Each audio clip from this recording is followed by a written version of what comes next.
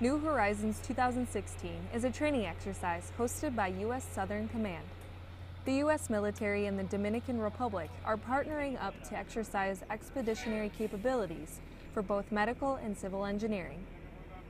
The preparations for New Horizons 2016 started about a year ago, uh, doing planning with the Dominican government uh, to make sure that we had the locations, the sites prepared, and an agreement with them on what we would do while here. At a site in Copeyito in the Dominican Republic, military members from the 820th Red Horse Squadron are working with local contractors to build a clinic. There's a, a need in this community because it's kind of out relatively rural area, so there'll be a, a lot of need for them to come here and have a medical facility much closer than what they have currently.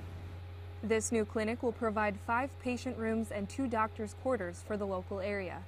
While U.S. troops and Dominican workers work together, they learn from each other.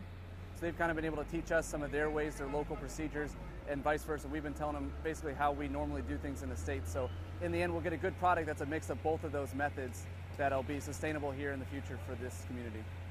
Through every step of the way, our troops and the Dominican government work together to accomplish the mission. Uh, when we've had uh, needs that we've addressed with the, with the civil leaders, they've been over backwards to help us out. Um, and so it's, it's just been a great experience so far.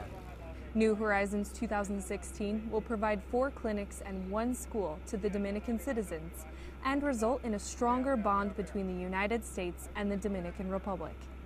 Senior Airman Laurel Richards, Copeyito, Dominican Republic.